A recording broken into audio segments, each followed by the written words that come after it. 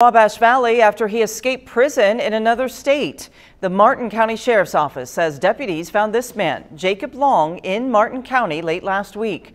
Police in Michigan wanted Long on a warrant of prison escape. An anonymous caller helped lead police to Long. Police say the car he was in had been reported stolen in Michigan. Kevin